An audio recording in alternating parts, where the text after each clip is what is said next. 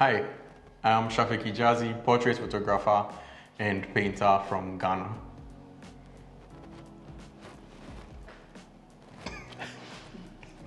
Emmanuel Oyeleke, photographer, archer, tech enthusiast from Nigeria.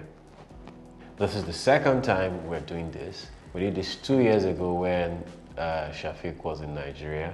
Today, uh, we photographed Joy, and there was five looks Yes. in total. And I think a lot of the looks were actually influenced by the by the wardrobe. To seeing the Style Infidel, brought on set. The idea behind this, um, our first editorial for the year, was um, an ode to Saint Laurent, Yves Saint Laurent, the designer, and basically pink, um, pinpointing um, his love for white and black, especially reflecting during the eras of um, Hedi before Anthony Vaccarello. And um, I had a lot of black dresses and white dresses in my closet, my styling closet, and I said, okay, you know what? Let's. I mean, I've already had the idea for a long time, and I was just like, you know what? I think this is the perfect time to photograph these pieces, and voila. And also my love for classics, clean, fine tailoring, and then sexy garments sometimes. And what better way to say sexy than some mad heels?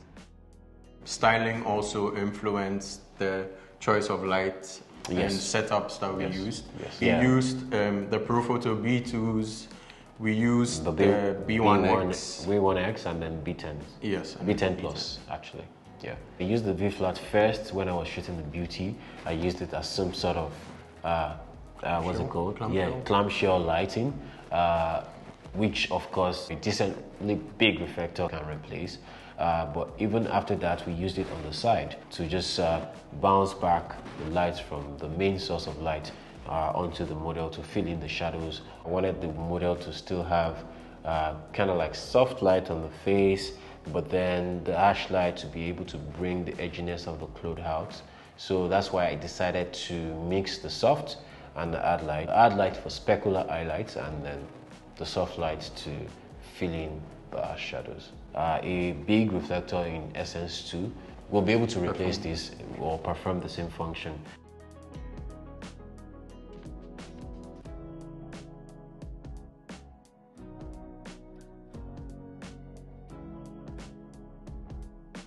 Having blue in front uh, and then the orange or the amber CTO at the back, I think they're just uh, they're just very complementing colors. Um, blue complements well with orange, uh, especially when you look at it on the on the Color wheel. color wheel. It gives it a cinematic uh, feel Film sometimes. Yeah, film look sometimes. I mean, it just looks good, especially on dark skin.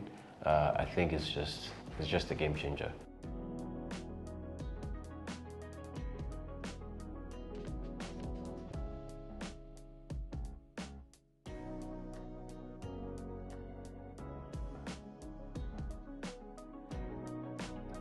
So I was just shooting, and since the place was really dark and we were backlighting the model, um, in the camera I noticed there were some particles, um, you know, floating in the air.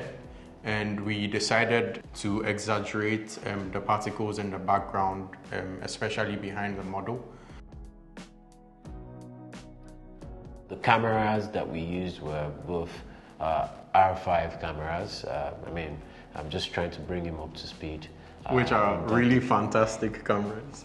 Yes, yes. You could te- you could testify. Yeah. Uh, from focusing in the dark. I mean, which some other cameras cannot do. Uh, I mean, uh, I think you're pretty well convinced that uh, you're on the brighter side of life. Since we were photographing um, from head to toe, I decided to um, use like a 50 mm, which enabled me to get like really full shots. So I used the 85 when I wanted to get um, up close and tight um, with the model, especially for the head shots, and then some medium length shots as well.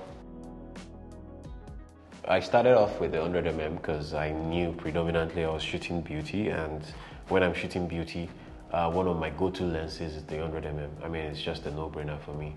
Uh, that lens is very sharp. I've switched to the 50, just like uh, E said, to be able to get like full uh, blend shots of a model without going too far. Uh, so with a reasonable distance, maybe about uh, a distance of about 10 feet, I can actually capture uh, full length shots of someone standing in front of me, especially since the camera I'm using is a full full frame camera.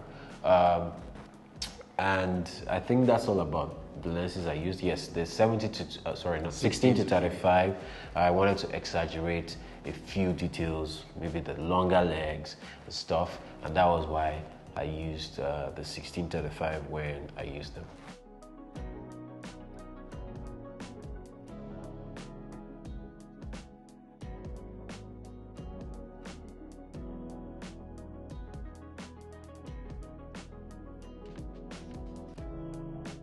We went with Zen backdrops because they had a variety of backdrops we could choose from for the shoot.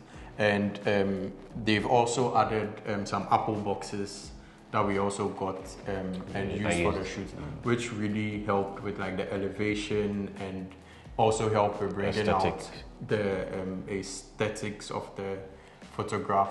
Yeah, I mean it's just it's just a no-brainer. I mean, yeah, no Zen, no nothing, no no picture, no, no magic, no Zen, no magic. Yeah. yeah, I mean it's it's it's a no-brainer. I think Zen is the number one uh, canvas backdrop producer in Nigeria. I dare say maybe Africa, and um, I think we're just we're just getting started. So expect a lot more from from Zen. My experience working with the, with the whole team was amazing. Um, Style Infidel killed the styling. Um, Cass also did amazing with the makeup. It was my first time working with Joy. I think she's a joy to work with. Then Akin doing the video, I mean, it's, it's just Akin's OG. That's I call him I call him Uncle. He's on the video. He does amazing stuff. Uh, the EOP team, everyone that was around, Shola, Zen Backdrops team. Yep. Uh, they got us every day, all day. Um, and I have to thank my wife too. She came in at some point and gave some, some motivation. Yes, and the DJ. I don't know. Happy New Year. Uh, it's my first shoot for the year, and um, I can only uh, hope for many more. And even at that, I hope for many more collaborations, uh, even with other photographers. Um, I think it's something we need to make a culture. I need to make a culture. I think we started it actually. Yeah. Um, was it Lex? No, Lex own was the first one we did. Ah, okay. Yeah, Lex was 2019 or 2018. Okay. I started with Lex doing collaborations, then we did uh, her own, and uh, we've not done a lot since then. Yeah, I did with Tosin Junaid, yeah. yeah. Um, but I think it's something that we need to actually make a culture and do more of. Um, we learn by doing that, we learn more from each other. And uh, not just learning, we have more reach once uh, we can combine efforts and do and do this. So yeah. Yeah. I hope to do more of this. Yeah. Yeah. All right, and if you like this video, uh, make sure you like and then subscribe, subscribe. to this yeah. channel because yeah. we have tons of uh, uh, amazing content that I hope and I am willing and planning to release this year. So, yeah. And hit the bell, sort of the bell icon, so you can get, get notifications, notifications when we upload yeah. new videos. Yeah. Yeah you know all those things that they say. Yes. Yeah. Leave a comment if you like the video as well.